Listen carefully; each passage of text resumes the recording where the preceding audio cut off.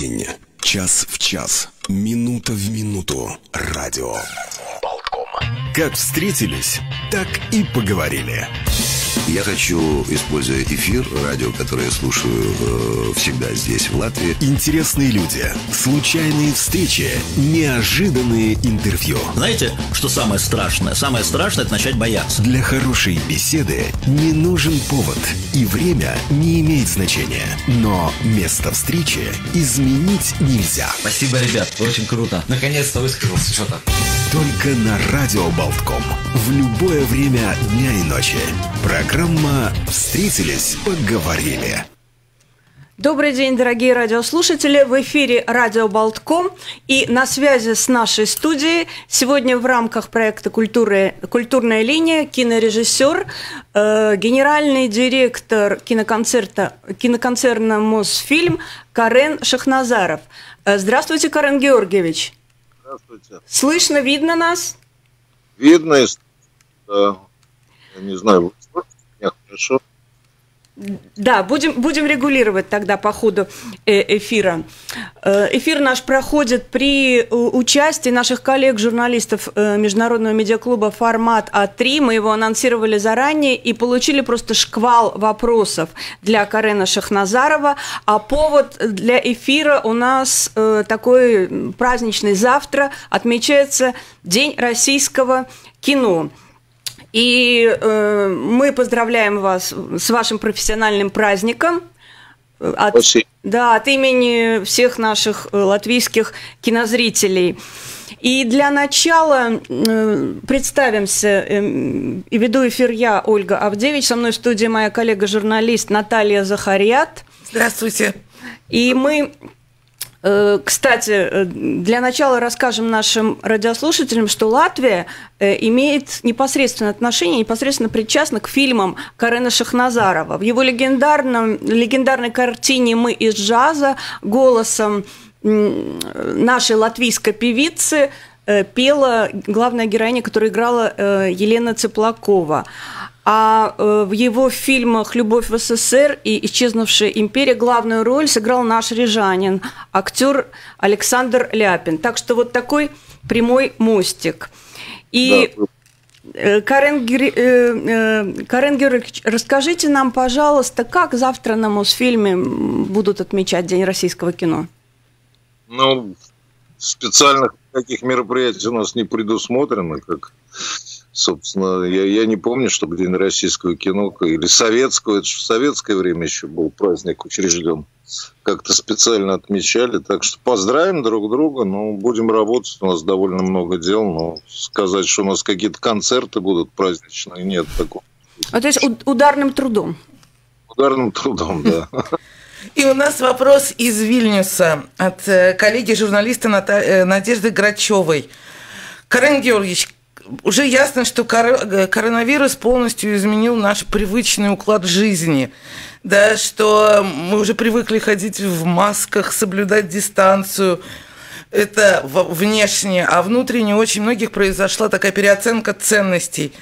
Понятно, что после пандемии зритель уже будет другим. А каким будет после пандемии кино? Трудно сказать. Я, честно говоря, думаю, что мы, как всегда, людям свойственно несколько, может быть, поспешно преувеличиваем эти все, что мир никогда не будет таким, как прежде, кино никогда не будет таким, как прежде, люди никогда не будут такими, как прежде. Ну, люди переживали и по, по, по как говорится, посерьезнее испытания, знаете, там, холера, чума, там, чума столетия вообще мучила тем не менее, как видите, в общем-то, мы все те же. Я думаю, что не, не, несколько здесь есть э, такой элемент э, преувеличения в, в, катастрофичность этой ситуации. Но в определенной степени, конечно, на сегодняшний день какие-то изменения есть. Это зритель больше уходит в интернет, в кино.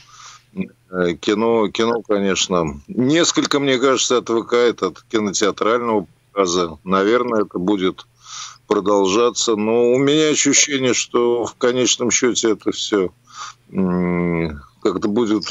Человеку свойственно быстро все забывать, к сожалению. Э, так что мне кажется, это все равно этот этап будет как когда-то закончится и и все, все войдет в, в, как, в какое-то привычное для нас русло. В 2020 году вот все очень волновались, что э, вот эта э, пандемия вообще угробит киноиндустрию, кинотеатры будут закрыты. Но, тем не менее, вот по мнению экспертов, российский кинематограф э, тем, ну, тем временем оказался на подъеме и, по крайней мере, демонстрирует какие-то положительные тенденции. Вот как это объяснить? Ну, я не вижу особо подъема у нас, честно говоря. Я, я вижу ситуации, на мой взгляд, ситуация, как она была, так и была. Ну, примерно там порядка 100 картин, видимо, Россия производит. Как она до пандемии производила, так сейчас производит. Э, вопрос, конечно, проката, он более сложный стал в связи со всеми этими э, пандемическими ограничениями. Но я бы, я бы не сказал, что... Во всяком случае, мы на Мосфильме не ощущаем какого-то серьезного пока изменения. Мы вполне работаем рентабельно, хотя мы, мы же не бюджетная студия, мы не получаем государства ничего. Но мы видим, что у нас довольно много работы. Но ее, я бы не сказал, что ее стало больше или меньше. Она такая же, как была. То есть жизнь идет, продолжается в своем ритме в, в этом неумолимость самого процесса этого, который называется жизнь. А вот в продолжение темы у нас как раз вопрос от журналиста Натальи Лебедевой из газеты «Вести». Несколько лет назад вы сказали в одном из интервью, что считаете киноконцерн «Мосфильм» одной из, не одной из, а даже лучшей студией в Европе. И э, если вспомнить, что вы в 2000 1998 получили Мосфильм достаточно в плачевном состоянии, когда была полностью разрушена вся система, и смогли его возродить достаточно в короткий срок. Вот все-таки как сейчас обстоят дела на, на Мосфильме? Удовлетворены ли вы работами творческими, которые выходят вот под брендом Мосфильма? Ну, вы знаете, это немножко разные вещи. Мы, в принципе, студии, мы работаем со всеми. И понятно, что у нас э, не, не всегда то, что снимается здесь, лично мне нравится. Это разные вещи. Но это, это производство, и у меня нет ни права, ни основания, как говорится, свои личные какие-то вкусовые, художественные вкусы навязывать всем, всем, кто приходит и здесь работает. Но с точки зрения того, в каком состоянии сейчас студия, ну, я бы сказал, сегодня уже можно говорить, что в какой-то степени мы построили заново студию, потому что у нас большое строительство идет. Вот построили новый павильон, дом костюма реквизита. Сейчас заканчивают строительство киноконцертного комплекса, которого никогда не было вообще у студии. Четырехзальный комплекс большой. И еще одного очень большого, крупнейшего павильона в России, 3000 метров. Вот. Так что да, я, я думаю, что когда я говорю, что Мосфильм лучшая студия Европы, я готов, пожалуйста, провести экспертизу и сравните. Да, она действительно, с точки зрения технологий, с точки зрения качества того, что э, того, что здесь можно делать, это лучшая студия Европы однозначно. Да. А, но это не всегда совпадает, э, слушайте, с качеством художественным. В советское время Мосфильм по сравнению с нынешним Мосфильмом был намного слабее. Но, надо сказать, художественный уровень советского кино был намного выше, чем художественный уровень современного российского кино. Но э, не надо ожидать, что Мосфильм сможет перевернуть все и вся. Это, это, это, это есть какие-то тенденции, которые не вполне от нас зависят. Наше дело создать такую производственную студию, которая, на которой можно было бы делать э, самые, э, так сказать, получать все возможности современного кино. Мы, у нас это возможно. А вот творческая составляющая, это все-таки очень много зависит уже от, от тех э, режиссеров, сценаристов, которые, которые работают. А можете нам приоткрыть немножечко э, как бы за кулисье э, Мосфильма, э, все-таки какие картины сейчас в запуске? У нас очень много вопросов, есть ли среди них ваши собственные? Да вот мы только я закончили картину, которую я автор сценария, продюсировал. Эта картина называется «Владивосток». Сейчас она будет представлена на кинотавре. Э, режиссер Антон Барматов. И, в общем, это полностью наша картина, профинансирована нами полностью, без участия э, каких э, государственных организации, и полностью нами сделана картина. Такая современная, очень современная история, молодые люди, любовь и прочее, прочее. Все действие происходит в Владивостоке, и картина называется «Владивосток», и, собственно, Владивосток как бы один из героев этого фильма. Ну вот она буквально, вот мы закончили только что. А что еще в павильонах Мосфильма сейчас из интересных таких проектов снимается? Я не знаю, насколько они интересны, я же не могу контролировать все качество художественного. Но у нас снимал вот почти два месяца или три месяца. Серебренников снимал кино. Э, фильм, кстати, в новом 16-м павильоне. У нас сейчас Валера Тодоровский э, собирается снимать новую картину. Тигран Киасаян. У нас довольно много. Вот как раз интересно, что последние там полгода очень много проектов, именно связанных с кино, потому что вообще-то Мосфильм в большой степени работает и на телевидении. Все эти программы, голосы, всякие другие программы, они же у нас делаются. И, ну вот в этом вот как сезоне очень много э, фильмов снимается. Вот. Не, не знаю, надеюсь, что все они будут интересными. А вопрос от руководителя гильдии латвийских актеров, актера Роланда Загорскиса. Э, на Рижской киностудии в годы независимости кинопроизводство практически прекратилось. Известно ли вам, как обстоят дела с кино в бывших союзных республиках и возможно ли, в принципе, успешное кинопроизводство в таких маленьких странах, как, к примеру, вот наша Латвия? А, в целом, насколько мне известно, конечно, в основном после, после СССР кино в республиках, ну, либо исчезло, либо находится в очень таком, прямо скажем, жалком состоянии. Но за исключением, может быть, насколько я понимаю, Казахстан довольно а, активно работает, но там государство как-то занимается кино и финансирует, и студию модернизировала, и в Беларуси какой-то. Там, где государство более-менее участвует, то там все-таки кино сохраняется. Но в других республиках, насколько мне известно, либо практически оно исчезло, э, либо находится совсем в тяжелом состоянии. Но я думаю, что, честно говоря, что у маленьких республик, когда они стали независимыми странами, нет шансов для того, чтобы вообще развивать кинематограф. Кинематограф – это слишком дорогостоящее дело. Для него нужен рынок. Ну, строго говоря, ну, если вы живете в маленькой... Одно дело, когда это было часть СССР, огромной страны, э, латвийские кинематографисты, армянские, грузинские, они работали на гигантский рынок почти. Сколько там в СССР населения было? 250 миллионов, около 300 миллионов, не помню. Ну, огромная страна. Конечно, это одно дело. А другое дело, когда маленькая республика, 2 миллиона населения, какой рынок? Ну, по идее говоря, на, на кого рассчитывать? Только если государство как-то будет спонсировать, но государство, понятно, что тоже ему сложно, наверное.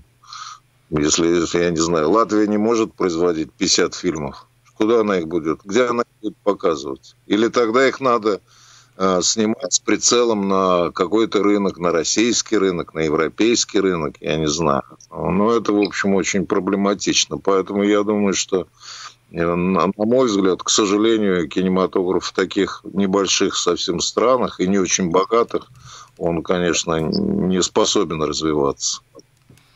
Карен Георгиевич, а расскажите нам, пожалуйста, о вашей замечательной программе, программе киноконцерна «Мосфильм» по реставрации советских фильмов.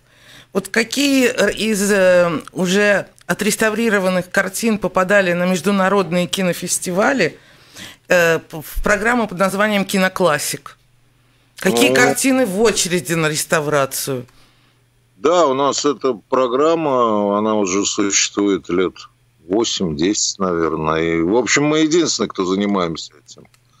А, во всяком случае, в Российской Федерации. На самом деле мы единственное. Это довольно сложная программа, потому что она требует... Во-первых, мы ее за свой счет делаем, то есть у нас нет, и мы финансируем сами эту программу.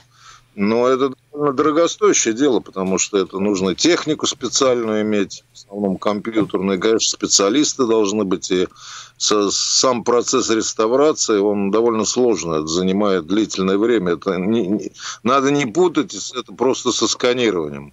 Перевести на цифру легко. А вопрос в том, что когда переводится, вот они, там, специалисты сидят каждый кадр, они работают с каждым, вычищают его, все, все погрешности, все э, выправляют. И, в общем, за это время мы реставрировали, ну, более ста картин.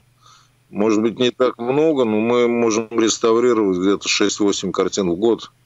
Некоторые картины, как Иван Грозный, Эйзенштейн, полгода реставрировалось. В принципе, мы участвуем во всех крупнейших э, программах кино классик Канского фестиваля, Венеции, Берлинской. Венеции мы получили э, Льва за реставрацию. Там свои призы дают. За реставрацию идеи смотрели Маклимова.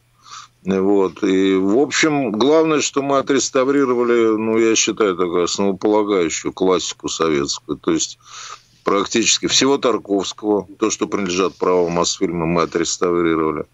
Эм, Рязанова почти всего, Михалкова, Гайдая, Меньшова, Озерова, вот, Юрий Николаевич. Э, вот в том году была у нас премьера. Так что сейчас вот реставрируем «Страсти по Андрею». Это авторский вариант Андрея Рублева, который Тарковский. И это очень сложная э, реставрация, потому что там нету негатива. Мы делаем это с контротипа. Кто специалисты понимает, что это другое совсем. То есть это не, не первичный исходник. И делаем 9 дней одного года, Михаил э, Рома. А, ну вот такая вот у нас э, в общем, это не, не, не очень, прямо скажем, коммерческое Э, мероприятие, поскольку по большому счету ничего это не приносит, но это важная часть культурной сохранения нашего фонда. Хотя сейчас мы заметили, вот у нас стали картины старые прокатывать. И надо сказать, вот в России уже видим большой интерес к этому. И просто это стали, они стали даже какие-то деньги приносить. Вот недавно июльский дождь прокатывали, тоже мы отреставрировали. Э, и, в общем, очень неплохо для старой картины пошло. То есть публика хочет смотреть старое кино на, на экране, есть своя публика, свои кинотеатры. И, в общем, это стало какой-то такой уже... Так, вызывает надежду, что это может быть элемент какой-то в этом бизнесе появится. А еще у вас есть э, интересный проект э, под названием онлайн-кинотеатр. Вы выкладываете мосфильмовские картины в бесплатные доступе на YouTube. И вот интересная э, реакция аудитории. Вы как-то отслеживаете, оцениваете ее, там, лайки, количество просмотров, комментарии, география? Ну, география у нас огромная. У нас количество просмотров колоссальное. У нас порядка 40-50 миллионов просмотров в месяц. Причем, э, надо сказать, это аудитория весь мир. К сожалению, мы не можем... Мы делаем... У нас программа субтитров есть. И мы делаем, конечно, субтитры, прежде всего английские, но некоторые французские, испанские. Ну, пока тоже, поскольку мы в общем, за свой счет все это делаем. Это довольно дорогостоящее дело, но у нас э, география, вся Латинская Америка, Филиппины, Индонезия, Вьетнам, США и вся Европа. Э, Латвия, кстати, очень много из Латвии смотрят. И, в общем-то, это такой, ну, как говорится, драйв, так адреналин, когда ты смотришь, что, в общем, миллионы людей смотрят э, наши картины во всем мире – Получается то, что в советское время Сокспортфильм пытался сделать, вот нам удалось это сделать, между прочим, потому что у нас просмотры, ну, на, на, ну так, на вскидку, я вот помню, Соединенные Штаты, это в среднем 150 тысяч э, в неделю просмотров. Это много. Даже учитывая, что понятно, там, ну, считается, половина мигрантов, наверное. Ну, там половина, как, скажем так, э, реальных американцев. И в, в таких масштабах советское российское кино никогда не было за рубежом представлено. Поэтому очень-очень хорошие отзывы у нас и, и очень нравится публике. И мы там выкладываем как раз постоянно, когда мы реставрируем картину, мы э, всегда их, естественно, тут же выкладываем, поскольку, конечно, современный уже зритель он хочет качества хорошего и э, Конечно, не можем все сразу сделать, но во всяком случае этот процесс идет. Да, это очень Э, это очень удачный у нас проект. Кстати, замечу, что мы были первыми, которые вообще выложили свою коллекцию в свободном доступе. Бесплатно. Бесплатно мы выложили раньше американцев, между прочим. Между прочим, сегодня мы видим, что многие американские компании начинают тоже делать бесплатно. Да, это. Потому что вначале они выкладывали за деньги. А мы выложили бесплатно. Ну, понятно, что мы зарабатываем там рекламу, то все это есть, конечно. Не, не, будем, не будем говорить, что мы альтруисты, тем более, повторяем, мы же э, мы же не получаем бюджетных средств. Мы предприятие, которое работает абсолютно рыночно. То есть все, что мы делаем, мы зарабатываем, и поэтому мы должны об этом думать. Но все-таки это такое у нас... Э, мы, мы гордимся, что мы были первыми, которые вообще придумали это дело. Карен Георгиевич, а к вопросам просвещения. Вот вы предложили внести советский кинематограф э, в школьную программу. Как э, обстоят дела с реализацией этой идеи? Насколько это возможно сделать вот в ближайшее время? Не знаю, по-моему, с реализацией мне пока ничего не известно, насколько она будет реализована, хотя я предложил это на Совете по культуре при президенте Российской Федерации. Президент одобрил, ему понравилось, сказал, да, это хорошая идея, там типа давайте. Но вот до сих пор мне неизвестно, чтобы это как-то какие-то по этому поводу были э, сделаны шаги. Я считаю, что это важно, я считаю, что это правильно, и надеюсь, что все-таки это будет реализовано. По мне, для этого не надо никаких серьезных... Э, если бы это от меня зависело, я бы, наверное, внедрил это в течение месяца. Потому что моя идея была очень простая. Показывайте детям хотя бы раз в неделю два часа выделите и показывайте им один фильм. Если вы будете это показывать там с первого класса, а очень много картин, которые можно смотреть с первого класса. Я, во всяком случае, помню, что я такие фильмы, как «Баллада о солдате», я смотрел, когда мне было 7 лет. Я все понял. Мне никто не объяснял, никто со мной не вел лекций никаких. Просто я все понимал. Поэтому я считаю, что то же самое здесь надо делать. Не надо никаких лекций, никаких там это. А просто показывайте, это останется в голове. Если действительно качественная картина, это, мне кажется, важная часть образования. Кстати, во многих странах введены такие уже. Я знаю, во Франции есть, в Италии есть национальное кино, в школах преподают. По-моему, в Чехии есть. То есть во многих странах уже это введено. Это ничего в этом такого открытия нету. Вот. Но как это реализуется, пока мне, честно говоря, неизвестно. так что... А суть этой идеи в том, чтобы э, школьники знакомились с историей и культурой своей страны посредством кино, правильно? Конечно, поскольку у нас э, э дело все в том, что вся, все, все классическое кино пока оно советское, другого нету. Понятно, да, и это понятно почему, потому что мало времени прошло. В этом нету даже какой-то просоветской позиции. Просто это так, это факт такой. Просто основные лучшие картины были созданы в этот период. Поэтому, э, так сказать, и, а, там масса картин, которые абсолютно не идеологично, так сказать, мне кажется, от этого только будет лучше детям, если они увидят там и того же Тарковского, и там других, э, Эйзенштейна, не знаю. Поэтому, поэтому, короче, я думаю, что это кстати, Карен Георгиевич, наша студия нашего радио находится э, в соседнем доме, на котором установлена мемориальная доска, что там жил Сергей Эйзенштейн. А, он же из Риги? Да, конечно. Да. Вот вопрос... насколько я помню, был главный архитектор Риги. Между ну, прочим. Не, главный, но несколько кварталов, да, в стиле mm-hmm. югенстиль, модерн.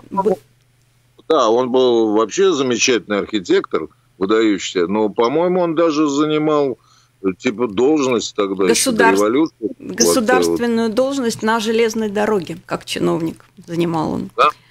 Вопрос... О, ну, я, он был какое-то официальное лицо при этом, да. да но выдающийся архитектор, у вас замечательный там есть дома его, это потрясающе, я думаю. Да, да, это верно, конечно. Он, Эйзенштейн был рижанин. Вопрос о государственной поддержке. Вот э, в Израиле была ситуация, когда министр культуры выступил против того, чтобы фонд кино э, финансировал антиизраильское кино, так было сформулировано, и что этот вопрос надо регулировать. Э, несколько лет назад э, в России государство перестало давать деньги на фестиваль документального кино Art Dog Fest, и этот фестиваль перебрался к нам. Теперь он проходит э, в Риге. Ну и были тогда жалобы на кровавый режим, на цензуру.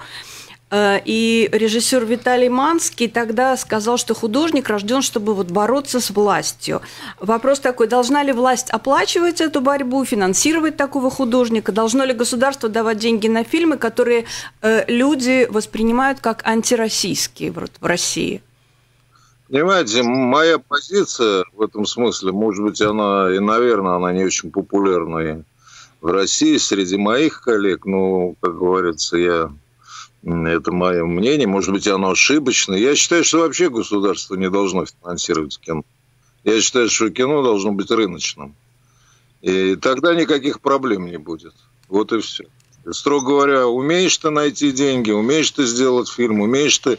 Ну, именно в силу того, что у нас э, сохраняется очень серьезная поддержка государственного кино. То есть надо поддерживать, мне кажется, там, их, может быть, какие-то эти, надо создавать какие-то условия для национального кино путем там, налогов, ну, такие рыночные механизмы. Э, но, но, в принципе, мне кажется, кино должно быть э, рыночным. Поскольку я 20 лет руковожу студией абсолютно рыночной, я, в принципе, вижу, что это возможно.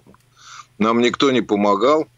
Мы приняли студию абсолютно разрушенную, и, в принципе, сегодня мы, можно сказать, построили заново студию, рентабельной.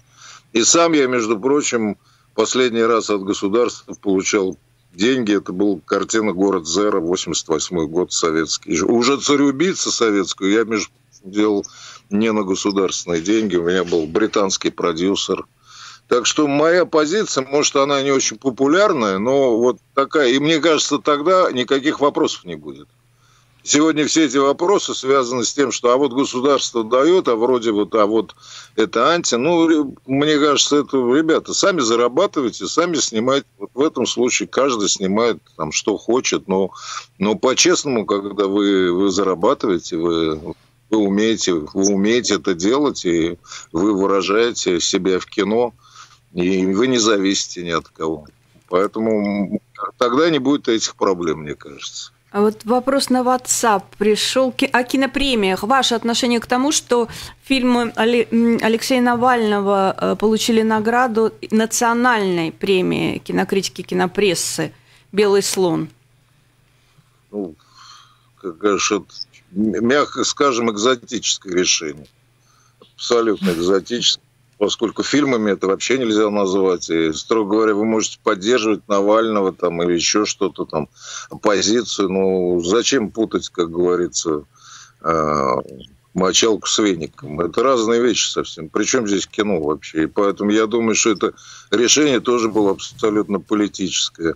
В этом все проблема. Все решения становятся политическими, идеологическими. Что с той, что с другой стороны. Ну, какое отношение фильм? Про дворец вы имеете этот фильм? Ну, какой да. это вообще? Это не фильм, это, это некая компьютерная игра, это же видно. Как, мне, как профессионалу, это видно, что это компьютерное, все сделано компьютером. Ну, хорошо, показывайте, там, обсуждайте. Ну, как, как, как можно давать премию за это, за, за лучший фильм? Ну, это просто, на мой взгляд, смехотворно. Ну, Недавно у нас в эфире режиссер-документалист Олеся Фокина, она лауреат и Ники, и «Золотого орла», вот она очень сокрушалась, что э, сейчас э, очень много э, ну, профессионалов раздражает, что э, цифровизация, соцсети пишут, все снимают. И конкретно вот фильм «Котлован», который э, приглашен был на фестивале, в том числе вот в Риге, на Артодокфест и на Берлинский, это видео из сети было собрано, где люди вот ругают Путина, там оскорбление власти. И ну вот что э, никакого отношения это не имеет к профессиональному продукту. То есть, чтобы участвовать на кинофестивале. Но, ну, в принципе, вот тенденция. Ну, да, к сожалению, политика, она, она превалирует. И понятно, что на, на, насколько, ну, прямо скажем, Латы это стало некой такой территорией таких российских диссидентов, где они, как говорится, на, находят поддержку. На здоровье мне абсолютно это безразлично. Но, строго говоря, давайте отделять там искусство, кино от, от политики. Вот и все. Политика – это политика, это борьба, своя борьба, нравится, не нравится, там разные взгляды. А кино, искусство, оно, оно, оно должно быть э, абсолютно отделено. Для меня – не имеет значения. Если это кино оппозиционное, если это действительно качественное кино, оно должно показываться, и я его буду ценить именно с этой точки зрения. Может быть, и антиоппозиционное, тоже может быть Но, честно говоря, все превращается, и фестивали в этом смысле все более превращаются. Кстати, и большие фестивали все более превращаются в поле, где идеология и политика играют э, первостепенное значение. Карен Георгиевич, вот как раз к вопросу о, о том, что к нам приезжают из России с такими фестивалями, как Art Dog Fest, а дело в том, что последние 10-15 лет наша Латвия является еще однозначным лидером по поставке юных актерских дарований в Российскую Федерацию. То есть это факты практически каждый год, вот на протяжении этих 15 лет – не практически, а каждый год э, в театральные вузы Москвы и Петербурга, в ВГИК, поступает минимум два человека из Латвии. Принципе, все они остаются по окончанию вузов э, в России. Это и Яна Сексты, и Евгения Крэгжды, и Агата Муценица, и Ольга Озулапиня, которая сыграла главную роль вот в фильме «Блокадный дневник», Игорь Филиппов, Владимир Кошевой. Мы уже назвали Александра Ляпина, которого вы открыли еще будучи студентом, он был студентом в ГИК, и вы дали ему первую главную роль в кино, в фильме «Исчезнувшая империя». И вот вопрос к вам э, не только как мастеру российского кино, как кинорежиссера, но и как к общественному деятелю. Вопрос от рижанки Марии Кары, выпускницы этого года Высшего театрального училища имени Щепкина. Уважаемый Карен Георгиевич, так сложилось, что практически все мы, рижане, окончившие в Москве театральные вузы и воспитанные в Латвии в русских семьях, сталкиваемся при устройстве на работу в России, когда устраиваемся в государственные российские театры, и даже при оформлении документов на съемки с огромными сложностями, которые связаны с нашим иностранным подданством. И именно подданством, даже не гражданством, потому что это в основном ребята, которые им, э, считаются, имеют статус не гражданина Латвии. И закон о возможности автоматически получить гражданство России после окончания э, вуза в России, он был отменен несколько лет назад. И огромная к вам просьба, крик о помощи. Можете ли лично вы, как общественный деятель, на правительственном уровне поднять вопрос о возвращении этого закона? Рассматривается ли в многочисленных российских комитетах по культуре внесение хоть каких-то поблажек для молодых людей из русского зарубежья, желающих связать свою жизнь с Россией? Ну, я думаю, что это очень важная, актуальная тема. Я, конечно, не, не, не, не человек, который каким-то образом официально может э, что-то ответить на этот счет, но то, что от меня зависит, я, я, кстати, всегда, где есть возможность, выступаю и говорю о том, что надо максимально упростить э, получение гражданства для людей, для российского гражданства, для людей, которые это хотят – и которые, тем более для людей, которые выросли в среде русскоязычной, независимо от их этнической, как говорится, э, происхождения. То есть это моя позиция. Я везде, где могу, я об этом говорю. Но я к сожалению, а может и к счастью, не занимаю никаких таких официальных позиций, чтобы обещать, что я смогу это каким-то образом решить этот вопрос. Но то, что я говорил и буду об этом говорить, в том числе вот то, что, о чем уважаемый корреспондент ваш просил, я, да, я об этом буду говорить. То есть постараюсь все, что в моих силах, во всех случаях этот вопрос ставить. Я, я считаю, что это неправильно, что молодые люди которые э, оканчивают и хотят работать в России, хотят получить гражданство российское, конечно, им должны быть предоставлены, на мой взгляд, для этого э, достаточно быстрые какие-то решительные э, там, разрешения, не знаю, как это назвать. Короче, обещаю, что что от меня зависит, я сделаю. Спасибо. Вопрос из Беларуси. Почему вас нет в социальных сетях и где вас можно читать? А, я не, нет, я нигде в социальных сетях, мне это, честно говоря, не очень интересно, и я, э, я, да, у меня нет никакого. Я знаю, что под моим именем там что-то открывают, могу публично сказать, я сам никогда этим не занимаюсь, и не знаю, мне это не интересно, я, я честно говоря, я, я вообще не очень понимаю, это, это анонимное общение, люди пишут, им что-то пишут. Я как-то, может быть, старомоден, привык с людьми общаться публично, в смысле, смотреть в их лица. И... Тем более сегодня это такие, я вижу там иногда в интернете меня показывают фотографии, что-то я сказал, и я смотрю, я это вообще не говорил, я к этому не имею никакого отношения. Но это вообще стало э, все, что связано с интернетом, это такой интересный феномен. И ты, ты не знаешь, ты существуешь в интернете помимо себя.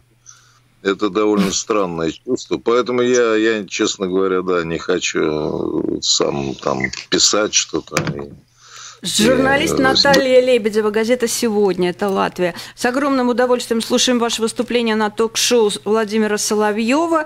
А, а вам не достается от творческих коллег, что вы так активно участвуете в обсуждении политических вопросов? Нет, честно говоря, ну, может быть, там у кого-то, конечно, свои мнения, и, и наверное, многие, многим не согласны со мной, но сказать, что это выражается в каком-то таком, э, в чем-то выражается, не могу сказать. Дело все в том, что все-таки вообще в кино, понимаете, это такая традиция, люди в кино разных национальностей и разных взглядов всегда очень хорошо уживались друг с другом, несмотря на какие-то внутренние противоречия, потому что наша профессия такая, что мы очень зависим друг от друга. Сегодня ты с человеком поссорился, а завтра тебе предстоит с ним работать. И люди, люди как-то у нас, может быть, в генетике уже есть такая терпимость. И мы никогда, я никогда не, не встречал. И сам я работал, и часто работаю с людьми, с которыми я понимаю, может быть, у меня совсем другие взгляды, политические, какие угодно. Но, но мне это не мешает, потому что, строго говоря, это, это, это одно, а это совсем другое. Поэтому, не знаю, у меня, во всех случаях, такого не было, чтобы кто-нибудь мне что-нибудь сказал, там, вот, ты там говоришь что-то, это неправильно. Ну, нет, это, это личное дело каждого. Ну вот, а Никите Сергеевичу Михалкову за его бесогон, в принципе, достается. Ну, достается, не, но мне тоже достается просто от пользователей каких-то, то есть бывают там мне какие-то эти, но я имею в виду и Никита Сергеевича Михалкова. В нашей среде, несмотря на то, что она, понятно, что разная, все-таки достаточно по-разному мыслит, есть и либеральная часть, есть и, прямо скажем, антилиберальная, то есть понятно, что все это это, но я никогда не встречал в нашей среде, чтобы кто-то там, там уже Никите это, это, это, это, как говорится, Цезарю Цезарева, как говорится, а Богу Богу. Вопрос от латвийского журналиста Игоря Мейдена. Есть мнение, что Карен Георгиевич убежденный марксист. Почему, на ваш взгляд, именно теперь труды Маркса в Европе пользуются особой популярностью, а книги издаются огромными тиражами? Ну, я не могу сказать, что я убил, хотя я сам время от времени э, пользуюсь этой фигурой речи и, и даже с элементом такого, мне нравится раздражать общественность. Объявляю себя марксистом, да. Это, но я должен сказать, что я считаю, что э, нельзя сказать, что все, что написал Маркс, оно сегодня современно и отвечает. Э, понятно это. То есть это не, не, не как в советское время, там теории Маркса объясняли все, там, начиная там, от э, выращивания репы и кончая, не знаю, там, историческими какими-то событиями. Но я думаю, что э, действительно есть несколько таких неубиваемых у него идей, которые, на мой взгляд, очень современны, и во всем мире это начали сегодня понимать, и действительно он пользуется огромным, огромным успехом. По идее говоря, Маркс был прежде всего ученый. Если отвлечься от того, что у нас связано с его именем, там, манифест коммунизма и вообще все остальное. Но вообще многие его открытия в области политэкономии, в области, в области э, исторической, экономической науки абсолютно современные. И мы, кстати, видим, что это работает. Строго говоря, мне кажется, гениальное открытие, это взаимосвязь, то, что он называл производственные отношения производительной силы, то есть э, уровень технологии всегда определяет и политическую систему, которая выстраивается в обществе. Но мне кажется, с этим очень трудно спорить, это так и есть. Это действительно стоит. И, кстати, это была, на мой взгляд, главная причина, э, э, как говорится, падения СССР именно это. То есть проблема была в том, что как раз те, кто руководил СССР, они не были уже марксистами. Они, они, они зубрили, но они не знали, не понимали Маркса, не читали его и не пытались анализировать ситуацию с точки зрения как раз реального марксизма. Мне кажется, это была проблема э, СССР в конце ну, там, 70-х, 80-х годов. Поэтому я бы сказал, что я такой э, творческий марксист. То есть я как бы беру от Маркса то, что мне кажется наиболее актуальным. А вот по поводу актуальности вопрос. Как вы относитесь к актуализации классики в кино? Вот сейчас, например, снимают э, сериал по сказкам Пушкина, где царевна, она э, блогер в Инстаграме, Елисей рэпер, Золотой петушок нейросеть, или вот э, Жора Константинопольский берет Достоевского, Э, Островского «Гроза» переносят в современную Россию, и суть там в том, что вот Россия испокон веков – это темное царство, и там ничего не меняется.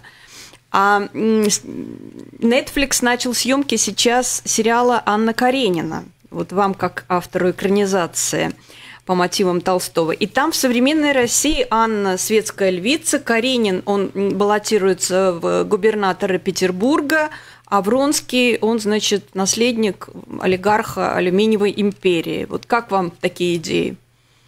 Ну, я спокойно отношусь. Я думаю, что у нас некая нервичность по поводу всяких этих, она, она как бы еще такая детская, я бы сказал. Кстати, в этом смысле надо поучиться, как раз тот случай, когда надо поучиться у Запада. Запад это переваривает очень легко. Он вообще не обращает на это внимания.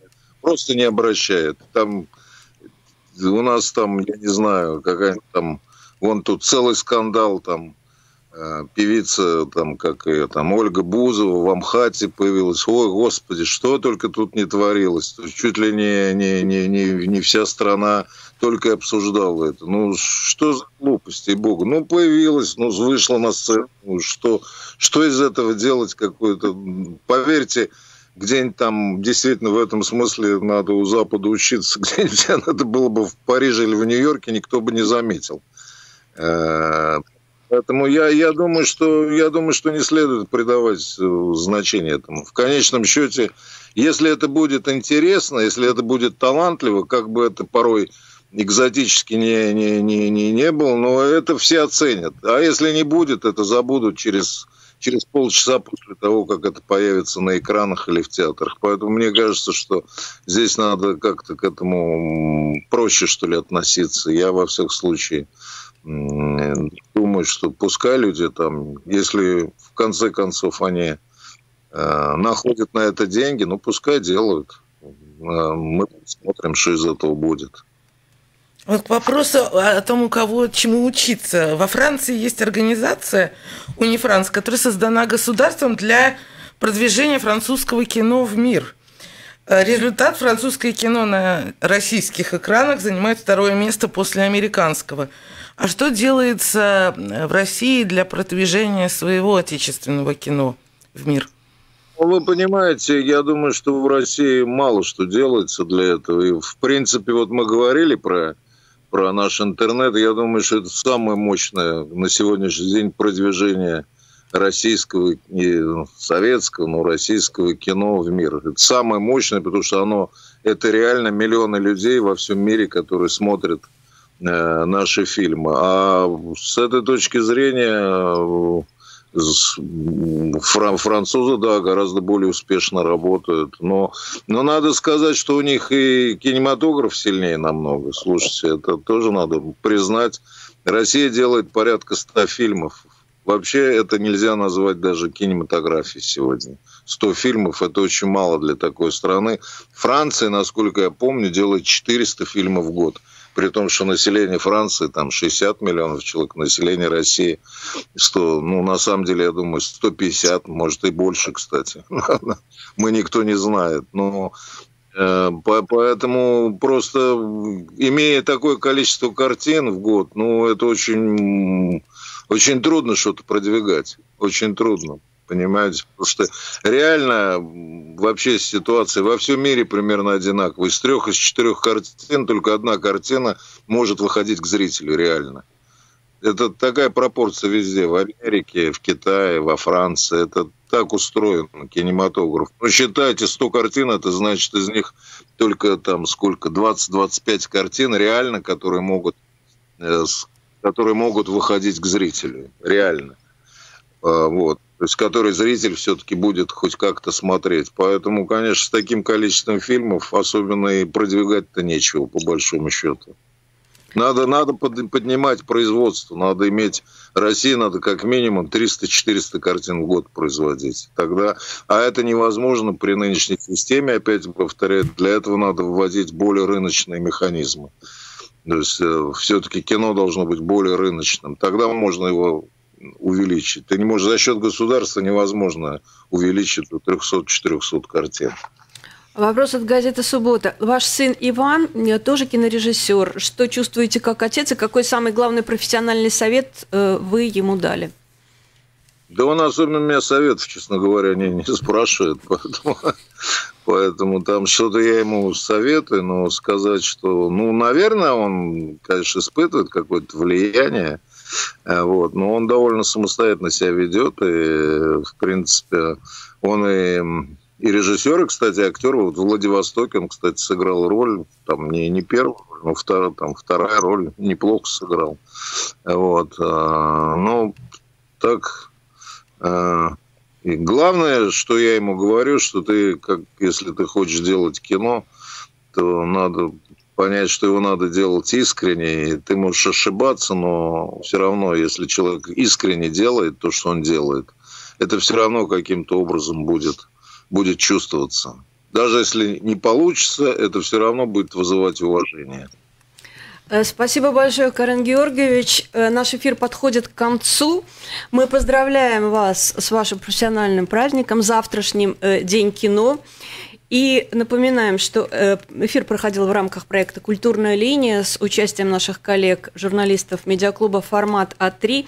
И напоминаем радиослушателям, что очень рекомендуем вам обратить внимание в Ютубе на проект Мосфильма «Онлайн-кинотеатр», где можно бесплатно смотреть э, э, отреставрированные советские фильмы. И напоминаем Карену Георгиевичу, что он обещал Эм, принять во внимание наказ молодых э, русских актеров из Латвии, которые хотят работать э, в России жить. и жить в России. Обязательно, и вам большое спасибо за этот эфир. И тоже я хочу пользуясь случаем, поздравить всех э, латвийских э, любителей кино с Днем нашего кино, потому что я понимаю, что Вообще это праздник, наверное, прежде всего не наш, э, кинематографистов, а я думаю, тех зрителей, которые любят, ценят кино, хотят его смотреть. И понятно, что без зрителей никакое кино просто невозможно. Мы же не можем делать кино для того, чтобы самим сидеть и смотреть его. Все равно мы делаем это для зрителей, поэтому я надеюсь, что э, как- как-то этот праздник и для наших уважаемых зрителей, и ваших радиослушателей тоже имеет значение. Спасибо вам большое. Спасибо. Спасибо. И будем ждать выхода на экраны вашего Владивостока. Всего доброго.